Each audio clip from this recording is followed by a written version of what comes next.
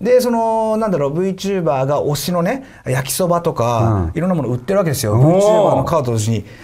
いやこれちょっと言ってくれよ。か焼きそば3000円とかでバンバン買ったわけですよ。これどういうことなんだろうなみたいな。これ。経営戦略サミット。来年1月開催。出演者はこちら。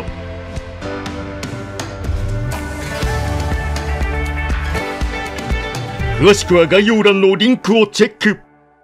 藤井さんあの後半の方もよろしくお願いします。お願いします。藤井さんあのまさに、えー、と進行期はいですね、はい。えーもうあの発表されてあの今まさにあのお NOW だと思うんですけども、はい。えー今期17億5800万で、はい。えー、127%成長、はい。トップライン結構上がりますね。そうですね。本当に戦期あの戦略変更したままあのそのまま進んでいこう。今期も。うん、今期も。でその結果あの十分大きく伸ばせるっていう確信を持って出させてもらいました、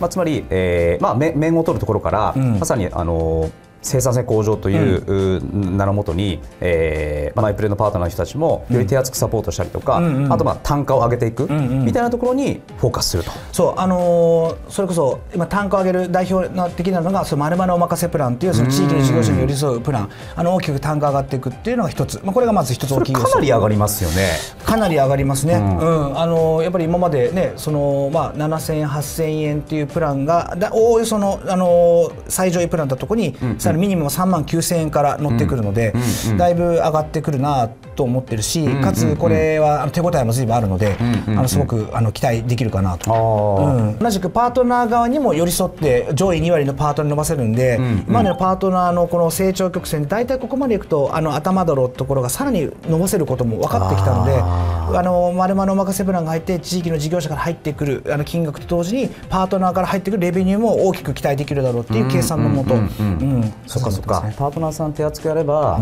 よりレベニューが増えるってことですもんね。そうですね。で、えー、とまさにそのあの今期のその資料にも書かれてたと思うんですけど、えーマイプレプラットフォームの利用店舗数が、えー昨体からプラス2687増えて、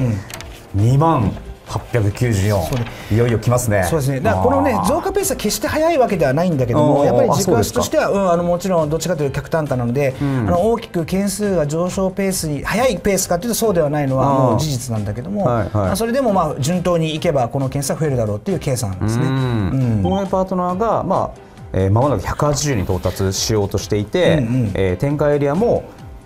一戦に向けて間もなくっていう。う、ね、キリがいいですね、なんか、うんそうね。そうね。わざといやいやいやたまたまたまたまたまたまたまちなみに、えー、っとまあ、まさにその戦期の途中に戦略変更したものを、まあ、引き続き、えー、注力して磨いていきますよってあると思うんですけど、うん、結構あのき気になったのが、うん、新規事業が、はいはい、結構あのトピックスなキーワード、まず最初にですね、町スパチャプロジェクトっていう、はい。VTuber 活用、はい。ちょっと正直石井さんっぽくないなと思って。ああ、そう。全く知らない世界だった。これは。知らない世界。あ知らない世界。ですよね、うん。僕なんで全く知らない世界。で確かに読んだら面白いなと思って、うん。つまり投げ銭文化が、うんうん。まあね、今根付いてきてると思うんですけど、うんうんうん。まあ、それのん。ふるさと納税版楽しく、んなんかその推しの街にって感じじゃないですか、うんうん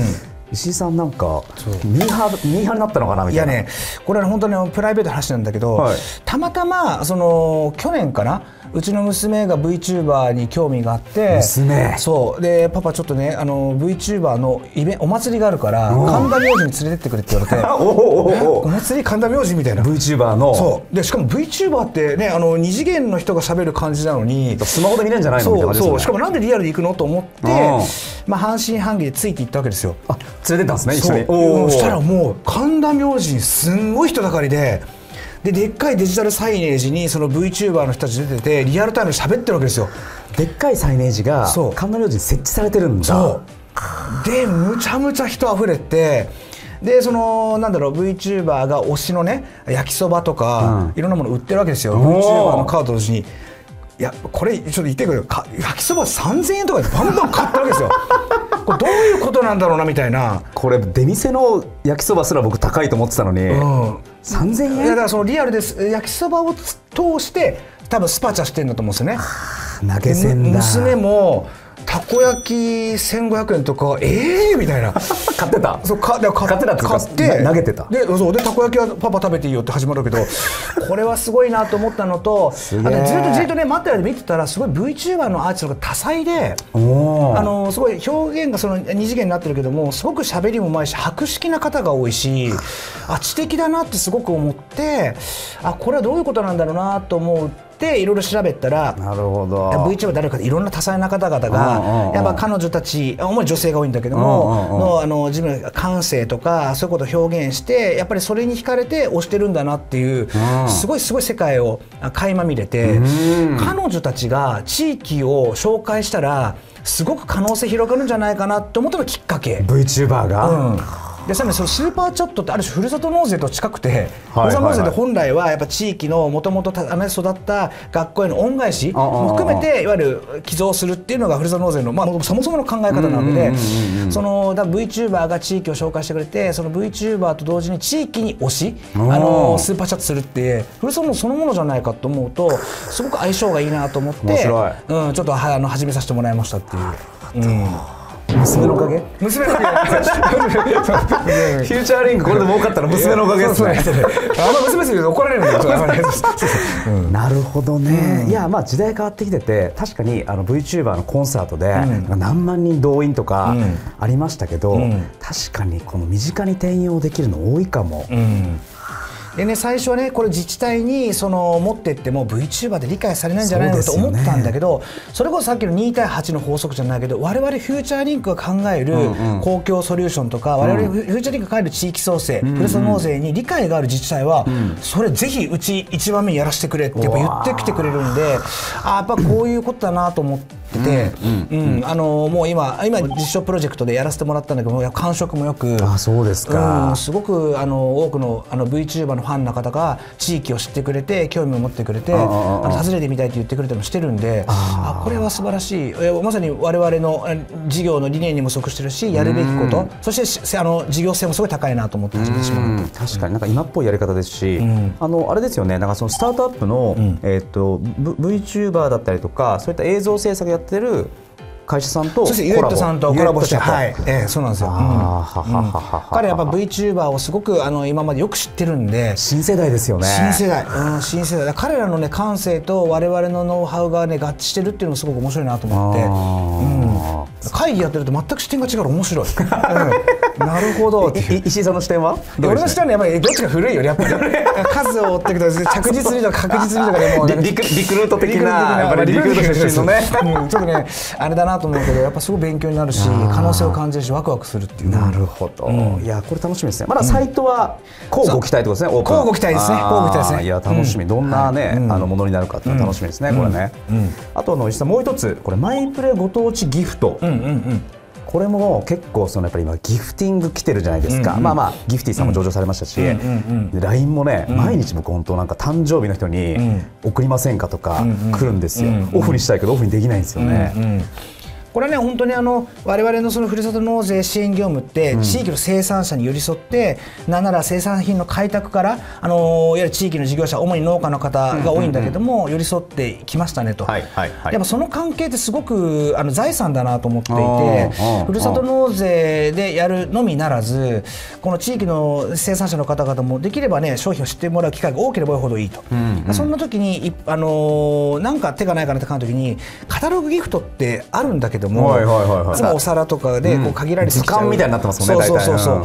でこれからやっぱり地域地方創生とか SDGs とかあのそれぞれの暮らしとか個性とか言われる中でじゃあ自分が住んでるあれ自分がゆかりがあるカタログギフトを送れる世界観があったらすごくいいんじゃないかっていう部分と、あともう一方がその今ねこれギフト文化ってどんどんまた、はいはい。はいね、一周回って盛んになってくる中であ地域の自分のルーツやゆかりがあるものがカタログギフトになっているっていう、もう本当にその生産者を支援したいって思い。それからあのこのギフトが今さらに盛んになってるっていう部分、あと旧体制というか今までのオーソドックスな、そのいわゆるボンクレのねお歳暮お中元それから結婚式引き出物っていうところ、あいろんなことを考えた時にこういうアプローチっていうのはみんなにとってハッピーじゃないかなと思って始めたっていう。これまでまあ本当カタログギフトってまあ言うたらちょっと芸芸がないというかまあ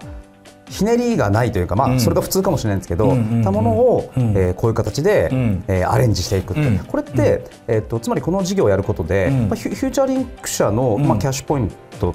と、あとはそういったあのクライアントのベ,、ベネフィットはどどういうものになるんですか？あの基本的に我々が発行しても買っていただきますと、うんうんであの我々はそのいわゆるあの買ってもらった商品のうち使われた部分をこう農家の方々生産者の方々にあの原価として払っていくっていう形になっていくので今のところオーソドックスなカタログギフトっていう形の省流でやってる。あー、まあてうん。手数料ビジネス？手数まあ、あ手数料っていうかね手数料で我々販売して仕入れてる感じかな。あーなるほどなるほど。仕入れ販売仕入れ販売に近い、うん。仕入れ販売に近いんだけどもこれはね、まあ、あのそれこそあのいろんなこう今ギフトのプラットフォームを持ってる会社さんとアライアンスすることによってもっと広げていけるんじゃないかって期待もあるしうん、でしかも今まず一発目千葉県のあのカタログギフトってやったんだけど、我々ミクロに行こうともいくらでも行けるわけで、今度船橋のカタログギフトって始まるし、あれどこどこの町の、まあ、町で難しいかもしれないけど、本当に大きさもいろんな伸縮自在でやっていけると、ますますそのアイデンティティとかあの住んでる地域と言われる地域ってことにクローズアップできるソリューションが作れるんじゃないかなと思ってるんで、うん。このギフト市場非常にね地味に見えて大きな市場なんでそこの一角を担えればいいなと思ってる。うん。これその、えっと今は限定的なその自治体からやってると思うんですけど、うん。もう今つながりあるところに、うんやりませんか？ってずらーっと言ったら、ん。手挙げたところからやれる感じですあよね。もちろん。あのでも我々の事業ってやっぱ直営地域でビジネスモデルをやっぱり検証してうん。フィジビリティやってモデルをちょっとテックタッチしてちゃんとシステム化してでフィジビリティ行くんだけど今テックタッチでもうちょっとこなれたら一気にフィジビリティで全国に広げようっていうふうに考えてる。まさにまさもう一気に全国に広げるまあ前段階っていう位置づけに置いてますね。なのでパートナーさんたちに、えー渡していく前のうん。フューチャーリンク社で、ん。いわゆるまあ社会科実験みたいな感じで、うんうん。まあ、やってると。うん。やっぱ広げたらね広げる前だからやっぱ生産性とかちゃんとね聖地に行く必要があるし。そうん。なるほど。手手応え感みたいなのはどうですか、いやすごく喜んでくれていて、うんまあ、ネットでも売り始めてるんだけども我々が想定つかないような、あの使い方をしてくれてる人たちが結構多くて、ん。うんやっぱりあの、ね、こうちょっと遊びに行く時に手土産としてちょうどいいとか、あとゴルフのコンペとかなんかねいろんなあのいろんな使い方してくれてるからあこれ可能性すごくあるし手応えあるし何より喜んでくれているああのあ買ってくれた人もあのこれに出店してくれてる生産者の方々も、うん、すごく可能性あるなと思って。なるほどなるほど、いや石井さんスパチャにギフティングにちょっとチャラくなってきたんじゃないですか、いやいや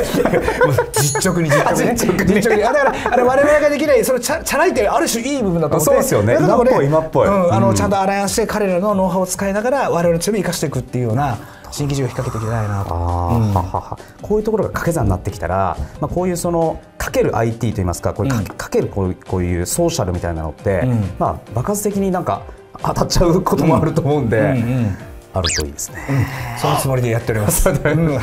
ありがとうございます。はい。ということですね、えー今日は、えー、フューチャーリンクネットワーク、えー代表西井さんに、えー、1年8か月ぶりにお越しいただきました。石井さんありがとうございました。ありがとうございました